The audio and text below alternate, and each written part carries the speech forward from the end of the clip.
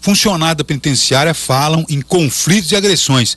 E me parece que realmente a situação é muito tensa. O clima dentro da penitenciária regional de Araquara precisaria ser avaliado, viu? Inclusive pelo Ministério Público, porque pela matéria que o Luiz tem em mãos aqui, parece que a intranquilidade é sem dúvida muito grande, né?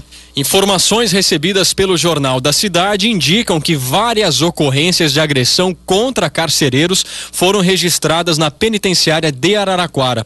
Um carcereiro quase teve o braço quebrado a pauladas no mês passado. Outro foi atacado por um encarcerado armado com gilete.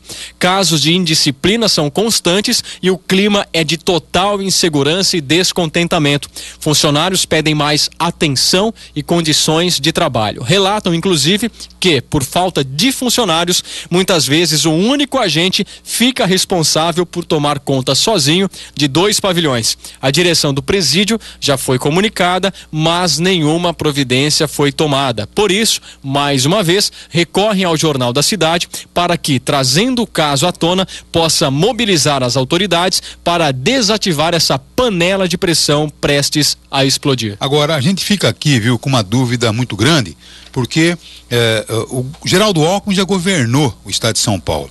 E o seu projeto para o sistema penitenciário não foi dos melhores, não. Tivemos graves problemas aí com o Alckmin no governo, com o sistema prisional.